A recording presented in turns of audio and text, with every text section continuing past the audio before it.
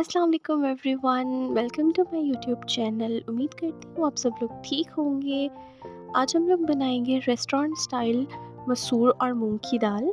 तो इंग्रेडिएंट्स देख लेते हैं। यहाँ पर मैंने हाफ़ कप ऑयल लिया है वन कप मैंने मसूर की दाल और हाफ़ कप मूंग की दाल ली है। उसके अलावा लहसुन, एक चिकन क्यूब हल्दी, नमक, कुटी हुई लाल मिर्च, टमाटर, हरी मिर्चें और ज़ीरा।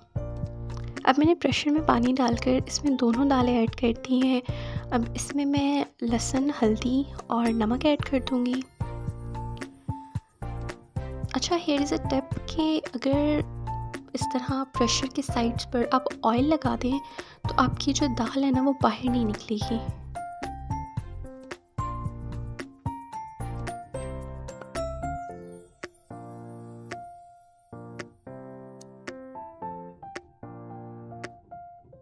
यहाँ पे मैंने इसको पाँच मिनट के लिए प्रेशर लगा दिया है। कि ये अब हमारी दाल जो है वो बिल्कुल रेडी हो चुकी है। अब हम लोग जो तड़का लगाना है उसका मटेरियल रेडी कर लेते हैं। यहाँ पर मैंने पैन में हाफ़ कप ऑयल लिया है। इसके अंदर मैंने लहसुन ऐड कर दिया है। यहाँ पर मुझसे क्लिप मिस हो गया था। मैंने इसके, इसी के अंदर टमाटर, ज़ीरा, हरी मिर्चें ऐड कर दी हैं और इसी में मैं चिकन क्यूब ऐड कर दूँगी। और कुटी हुई लाल मिर्च और बस ये हमारा रेडी हो चुका है।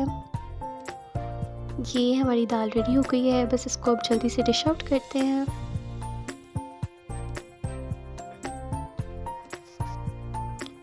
और बस ये इसका फाइनल लुक है। आई होप आपको वीडियो अच्छी लगी होगी।